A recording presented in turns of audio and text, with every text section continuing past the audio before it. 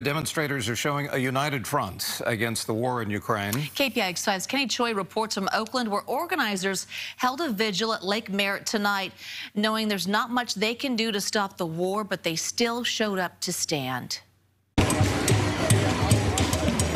For Misha and his mother Koya, tonight was their first chance to gather with others in the Oakland community and cry out for peace. It's unbelievable what they're doing. The Russian people killing the Russian people. They have ties to both Ukraine and Russia and family members who have fled in times of war. Just important to to support the efforts to stop the war. Yeah. That we're against the war, and people see it that people are against the war.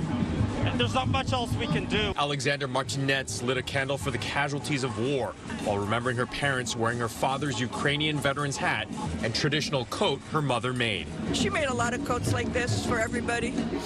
Um, so I thought I would represent, you know, her skill and also um, her devotion to her country. Organizers weren't sure how many people would show up today, but they came to light candles and sing for peace. Russia unilaterally took this move, um, and it's not really clear how far should we go to defend the Ukrainians, you know, without risking setting off World War III.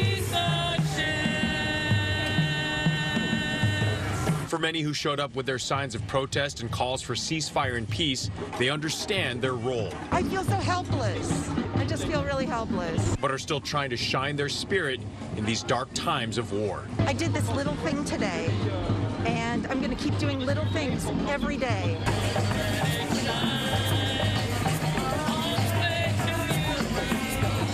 In Oakland, Kenny Choi, KPIX 5.